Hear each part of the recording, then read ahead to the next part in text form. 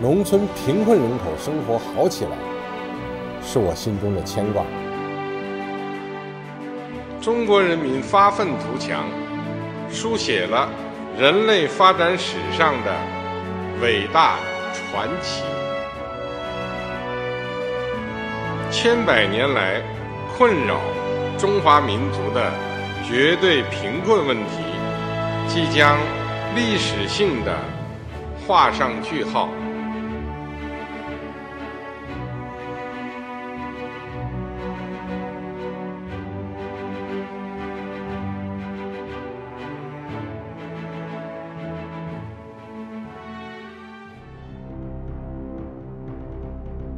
消除贫困，自古以来就是人类梦寐以求的理想，是各国人民追求幸福生活的基本权利。消除贫困始终是广大发展中国家面临的重要任务。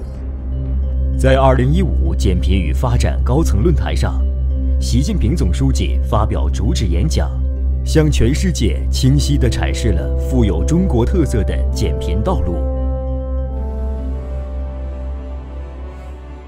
我们坚持政府主导，把扶贫开发纳入国家总体发展战略。我们坚持动员全社会参与，发挥中国制度优势，构建了政府、社会、市场协同推进的大扶贫格局，形成了跨地区、跨部门、跨单位、全社会共同参与的多元主体的社会扶贫体系。中国幅员辽阔，从高山到平原。从陆地到海洋，自然禀赋的不同，造就了巨大的地域差异。如何让羸弱变得强壮？中国有着自信的方案，这就是跨区域结对帮扶。九七年，呃，我到这里啊，这个当时呢，这个策划的搞这个移民吊装工程，搞这个闽宁村。生活收入增长了几十倍呀，二十二十倍，五百块到现在一万多，这个只有谁能做呢？只有共产党能够做，啊，我们社会主义制度能够做，啊，别的地方是做不成的，啊，这个体现我们制度和政治的优越性。贺兰山东路千年戈壁荒滩，如今这里已经建成一片绿洲。两边的树呢，已经种了九年了。像这种大树呢，我已经种了五百多万棵树了。这五万亩啊，已经变成绿洲。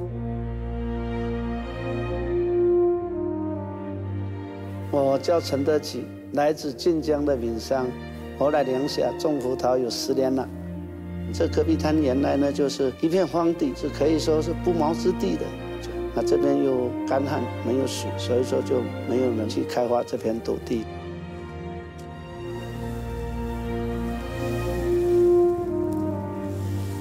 我就喜欢这个地方的土地的味道，就是从来没开垦过的一种清香味。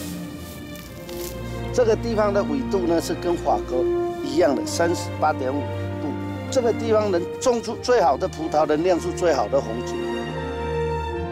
习总书记就说要号召福建这些闽商来这边发展来宁夏来闽宁这合作。我是两七年来的啊，那个时候来呢就看上这片土地了。初次见到这片土地，陈德启只用了十五分钟就做了人生中最重要的一个决定：投资两亿元修建葡萄园。那一年。中国发达省市对口帮扶中西部欠发达省区的合作已经进入第十个年头。这几年，闽宁镇上更热闹了。每天早上六点，元龙村的村民们要坐上班车到葡萄园上班。这个移民新村里有一万多村民都是2012年从宁夏最贫困的山区整村搬迁过来的。我叫毛奇。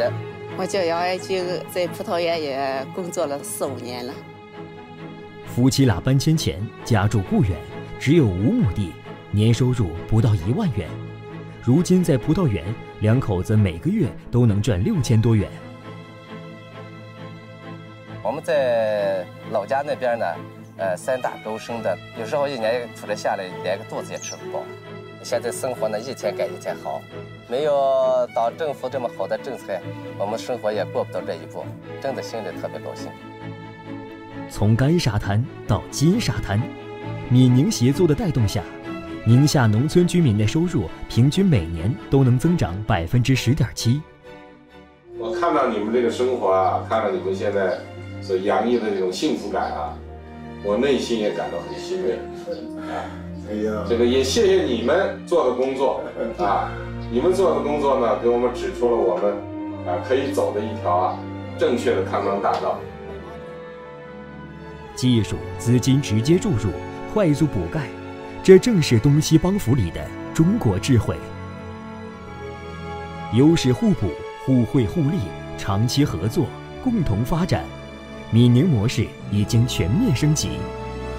东部九省市和十三个城市与西部十个省区市结成对子，实现了对三十个民族自治州的帮扶全覆盖。这是推动区域协调发展、协同发展、共同发展的大战略，是加强区域合作、优化产业布局的大手笔，是先富帮后富、最终实现共同富裕目标的大举措。截至二零二零年七月。在闽宁对口扶贫协作援宁群体等的奋力推动下，闽宁两省区二十多个省级部门、八十多个县级部门互学互助，一百零一对乡镇、一百一十对村建立了结对帮扶关系，形成携手奔小康的强大动力。以东部发展优势弥补西部发展短板，以东部先发优势促进西部后发崛起。变输血式扶贫为造血式扶贫，不仅成为缩短东西部差距的加速器，更激活了西部自身发展的内生动力。云南澜沧拉祜族自治县云山自然寨，在上海黄浦区的对口帮扶下，乡亲告别漏风漏雨的篱笆房，住上新房。除了危房改造，另有十五个护滇帮扶项目落地于此。山城重庆。山东亲戚越结越多，山东十四个地市结对帮扶重庆贫困县之外，还有上百个乡镇、一百五十多家企业、一百六十所学校、六十六家医院加入鲁渝协作大家庭。四川乐山、浙江企业越走越近，这起党组织与当地贫困村牵手，其中仅组织社会捐助就超过七千万元。北京二零二零年支援内蒙古的资金投入已超十八亿元，同比增长百分之十八点七。遭遇新冠肺炎疫情冲击，大家都在过紧日子，但北京上下有共识，对口帮扶内蒙古的资金只增不减。一定啊，要把我们的老百姓，特别是我们农民扶一把，社会主义道路上一个也不能少啊。共同富裕，先富帮后富，一帮帮到底。激励之所举，则无不胜也；众志之所为，则无不成也。聚众力，会众智，集众智。